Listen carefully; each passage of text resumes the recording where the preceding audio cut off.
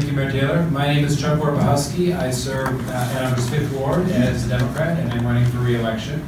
Initially, I ran, uh, my day job is just down the road at Interfaith Council for Peace and Justice. And so every day at my day job, I'm trying to figure out how do we work towards uh, being a more sustainable community? How do we work to deal with problems like lack of affordable housing? How do we deal with racial injustice here in our community?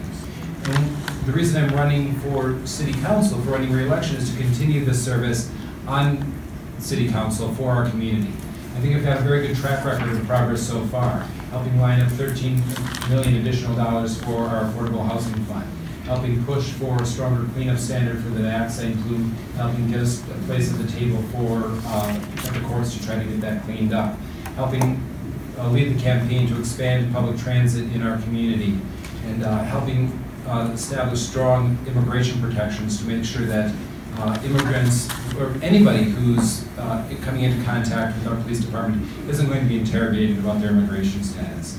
I've got a strong history of success on these progressive issues, but we have a lot more to do in terms of policing, in terms of housing affordability, and in terms of sustainability. And to continue this work is why I'm running for